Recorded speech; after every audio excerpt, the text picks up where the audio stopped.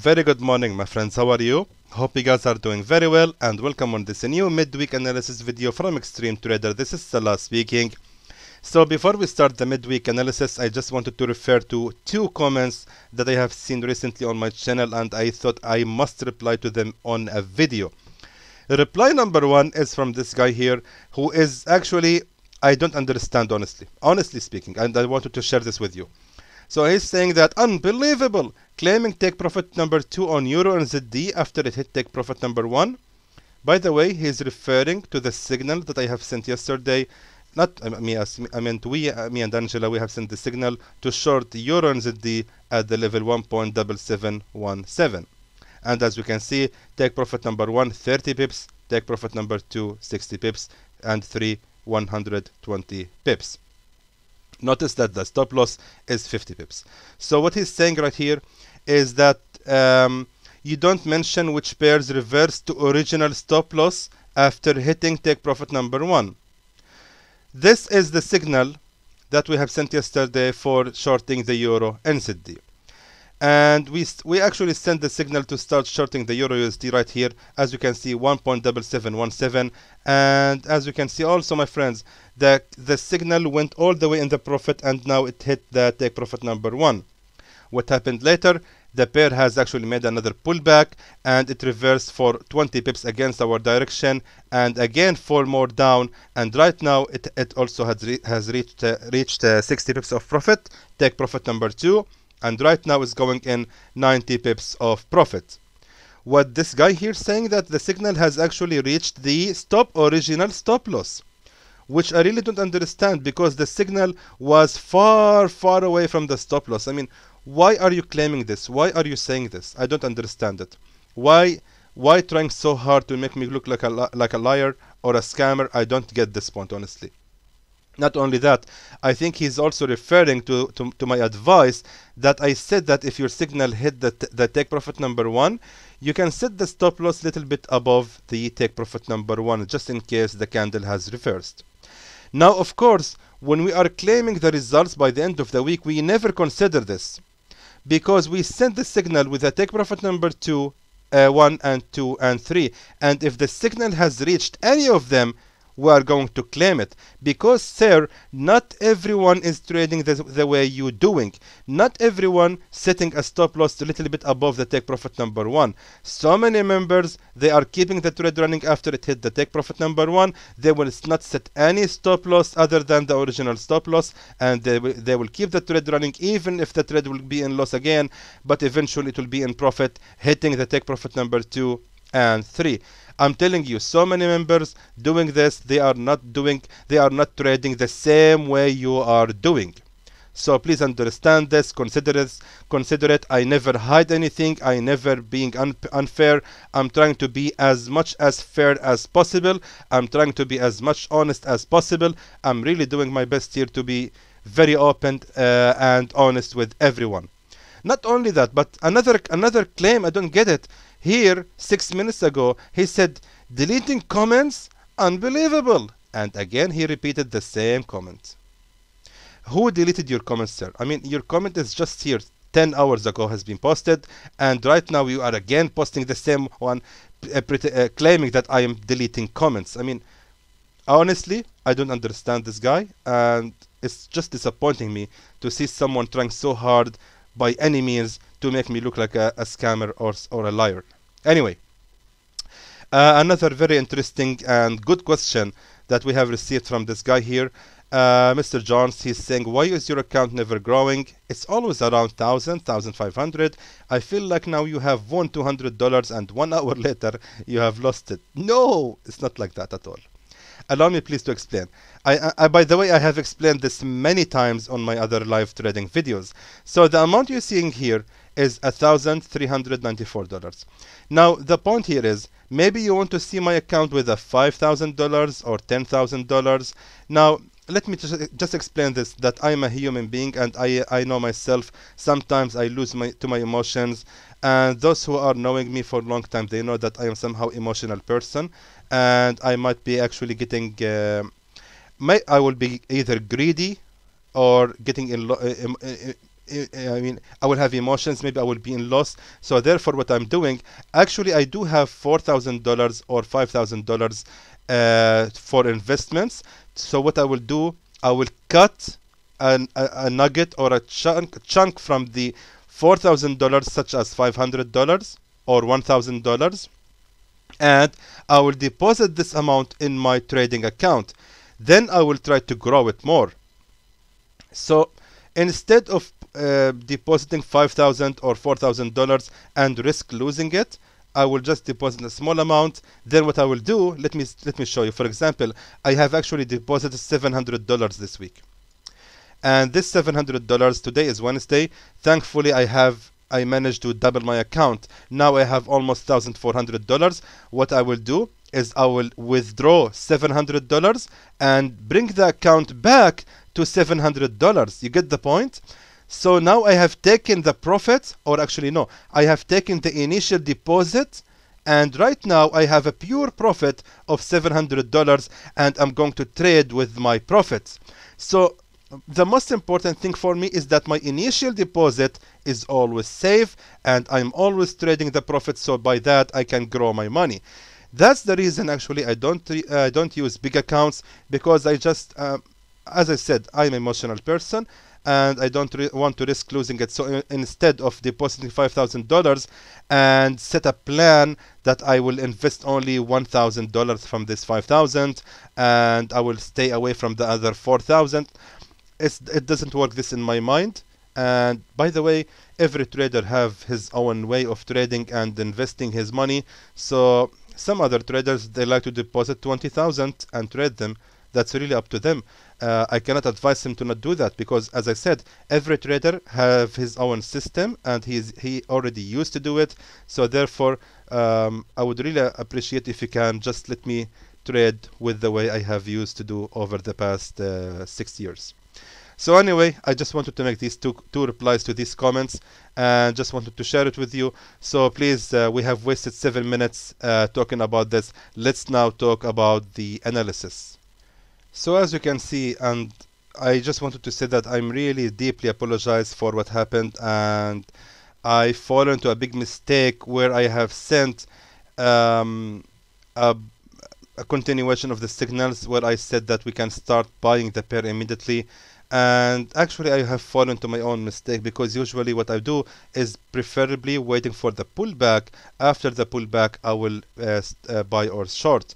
However what happened sadly uh, I went against my uh, rules and sent the signal to buy immediately and it it caused really uh, big losses uh, for so many for, for so many pairs or many signals. Anyway we will do now our best to recover the losses happened and let's now review together what we can do actually to recover the losses. So let me just delete the previous signal for buying the euro NZD sorry the euro USD now as I mentioned before um, the dollar the US dollar is still weak and therefore after seeing this bearish candle it's very obvious to me that the candles are actually gonna continue the fall a little bit more until it hit the strong support level right here. Now there is a reason we need to understand first. First of all, if we draw a Fibonacci retracement, as you can see, this is uh, 23.6 and therefore we can expect the pair to actually respect that previous support level right here and the pair actually gonna continue the fall until hitting the, the, the, the support level right here. So we have already here a support number one and the pair will most likely fall to hit support number two and then from that point it's going to continue the rise. Of course not only that but as we can see we had right here a resistance trend line. Like that that resistance trend line has already been breaking out from with this bullish breakout candle. And right now the market is falling down to retest the broken uh, resistance trend line. And right now it's gonna become the new support trend line. So therefore we can actually rely on this and we can set now a new uh, signal for the euro NZD euro NZD I meant euro USD sorry my friends. I'm still affected by the signal I have sent. So euro USD is good for the buy at the level 1.17097 exactly from that level of the previous support. And this time we can keep the trade running until it hit the top of the resistance. Um, I believe that's not realistic. Maybe it's better like this until it hit the take profit, uh, the resistance, sorry, on that level right here. So we are looking for 200 pips of profit. Meanwhile, the stop loss or the the safe zone is gonna be ranging in uh, below that support level, which I really doubt it, it's, it's gonna happen. However, I have to mention something, my friends. Uh, all these signals are very subjective to the news and the announcements from the leaders uh, from the United States. Because, as you know, my friends, right now we are having the elections coming after two weeks, and it's not really my fault if anything will happen during these days. If, uh, for example, on Thursday, Mr. Trump will make uh, some tweets insulting uh, Nancy Pelosi or Joe Biden or announcing anything to cancel a debate or something we it's not really my mistake. This can actually affect the signal. All the signals you are seeing here based on technical analysis and if you want to make a fundamental analysis please be careful to the news. Pay attention to the tweets of Mr. Trump or whatever um, announcement about his health announcement about the um, the coronavirus cases in the United States. All of that actually plays a major roles in these signals so again Please pay attention to them. I really cannot take any fault or any blame for that. Let's look right now for the pound USD. Sadly, the signal also didn't work well, and I really feel sorry. What uh, what we can do? This is forex. Um, we always have to recover in in case we have made the losses. Instead of apologizing, we always we always have to uh, try our best to recover. So, what is going on right now with the pound USD? The pound USD actually is still continuing the growth, as you can see right here. The, the pound USD is still going in a bullish momentum and I believe the pair will eventually fall down to hit that support level right here. And as I said before, um, let me just check that on Fibonacci retracement. Exactly, look at that. We are also on Fibonacci 23.6 and therefore um, this uh, uh, support trend line is going to continue moving up and the pair is going to continue the rise until at least it hit that previous support level right here. Remember right now I'm on the daily candles. So pound USD should be good for the buy again at the level 1.28891 and the safe zone is going to be below that support level. Let me just be sure. Exactly. Actually my eyes my eyes looking here. So that's also another strong support level and the candle might fall down to that level. So 53 pips is the uh, safe zone for the trade of the pound USD just fix it right. And we can keep the trade running. As I said let's make it until only the uh, previous resistance right here. So we are looking for almost 1198 pips of profit. Hopefully we will make them all uh, take profit 1.0030848 please again keep in mind any news about Brexit any uh, um, announcements about uh, uh, now, by the way, uh, United Kingdom is facing a major problem with the coronavirus, and it seems like they are going to be uh, a hot spot, a hot zone in Europe about with with the infection with the positive cases about in the coronavirus. So that actually might affect the pound. So please let's pay attention to it and be careful about any uh, announcements or news going after posting this uh, analysis. Uh, this one I deleted by mistake. Sorry. So there goes the signal for the pound USD. Hopefully also it will work this time very well. AUD USD. Oh, sorry, it didn't work well as well also. And I'm okay. What happened happened. Now we need to look for uh, the new opportunities coming. So AUD USD. If we check the chart on the four-hour time frame, we can see that the pair is still actually going uh, in a bullish momentum. It's still growing. So in my opinion, the best uh, the best option we can do is waiting for the AUD USD to reach that strong key support level and from that point we can start again buying the pair. Not to mention that this support has already been respected as a support right here. So we had here a bullish breakout candle and therefore we can expect from the pair uh, to reverse at that small resistance right there. And here then it's gonna continue the fall to hit the support level right here and then gonna continue the rise and I want to check if I draw a resistance trend line. Exactly. Look at that. That previous resistance trend line has been breaking out from and the pair has went all the way down to retest the broken uh, resistance. There is a, a, possibility that the pair actually might start the rise immediately. However I have learned my mistakes. We will never set any uh, buy now signal anymore. We always have to be very careful and select only the strongest levels to the buy or sell and from what I see the strongest levels is gonna be that support level.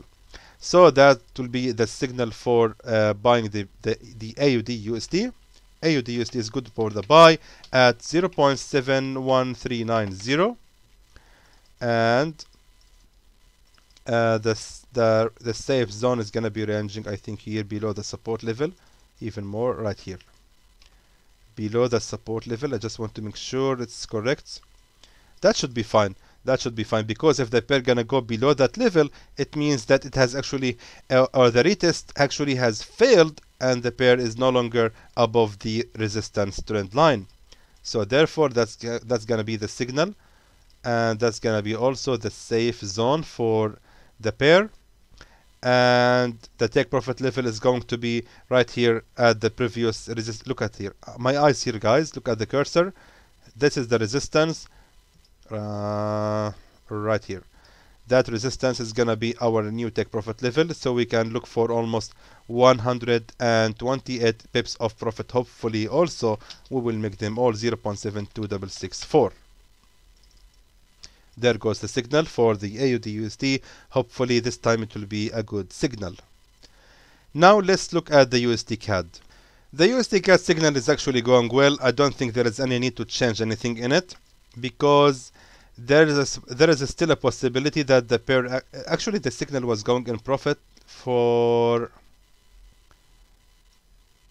uh, almost 38 pips of profit then reversed.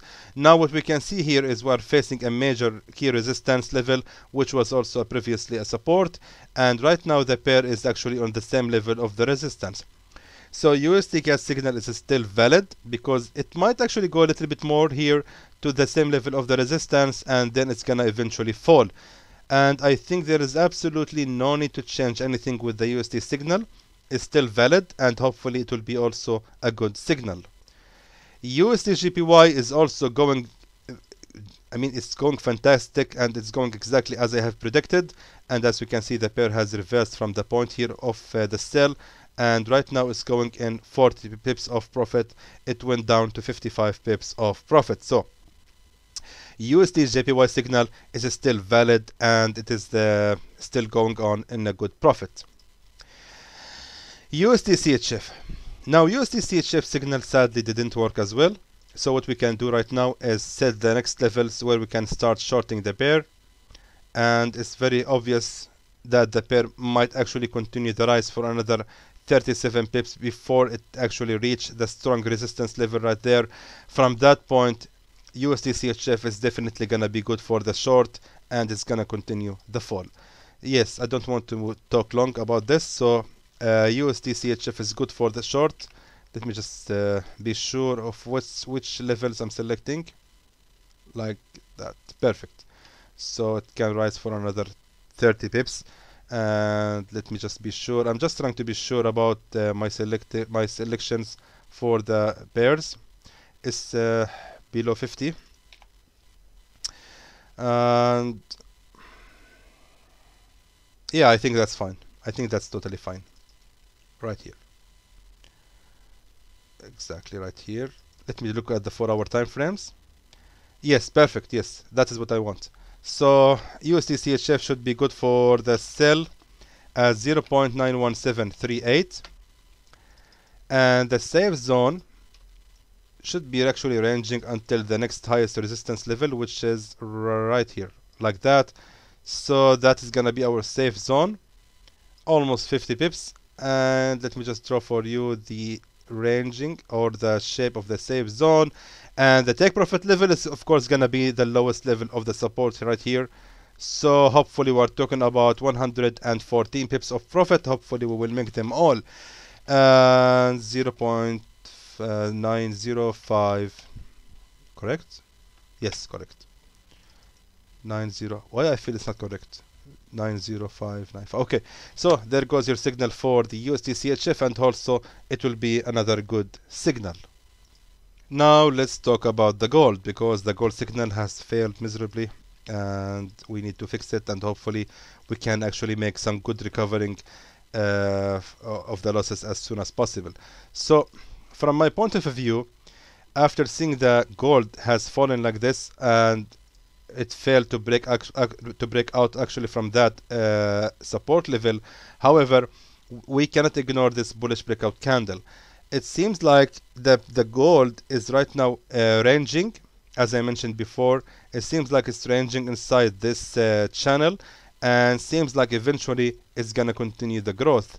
However we need to understand where we can start again buying the uh, gold to have a better entry now if I'm not mistaken and hopefully I'm correct oh it has already reached it Hmm, actually I was planning to send a signal to start buying the gold from that support level. However, we can see that the pair has already reached that level and seems like it has already reversed. I mean, did this happen before recording? Yeah, seems like it, yes. Look at that. Uh, on the 50 minute time frame, we can see that the candle has already reached uh, the level I was planning to send the signal to. It went to 130 pips already and yeah that happened uh, before I, I, I, I, planned this before recording and sadly the signal uh, without noticing it has already uh, been there so I have to send the signal like this sorry because maybe maybe the candle actually might fall down later and hit the support level for another attempt and from that point it's gonna good for the buy again. So I know it's, it's gonna be a late signal. However that is the signal this is the valid signal. We have to send it uh, buy the gold at 1882.55 uh, and the stop loss should be actually at this support level right here. No that's a lot. Let me go to the one hour time frame. Just selecting um, the safe zone should how far, how long it should be. Yes that support here is fine enough. 100 pips which is fair. And the take profit level should be actually at the top of that resistance level right here. So that's gonna be the signal. Take profit at 1920.79 I have to say again that sadly the signal has already been active while I'm talking and I really cannot send another signal than this one and our only hope that the gold signal is going to be valid if later on the pair will make another pullback retesting the broken support level and then you can actually place the buy order again. Uh, forgive me guys it was not my fault really what happened right now because the gold has reached uh, the entry uh, while I'm actually uh, getting ready to record this video. So there goes your signal for the gold and hopefully uh, this week we will continue to make some good profits and hopefully we will recover the losses caused by the uh, weekly analysis. And I hope everyone understands the, the reason uh, why the signals have failed. As I said before uh, it's a very very critical uh, days we are living right now because of the elections coming and this will actually it will control the market. It will control how the currency will go and please pay attention to any news and announcements from the leaders of the world. So uh, again I hope it will be a very profitable week and until then I hope that was informative to you and I would like to thank you for watching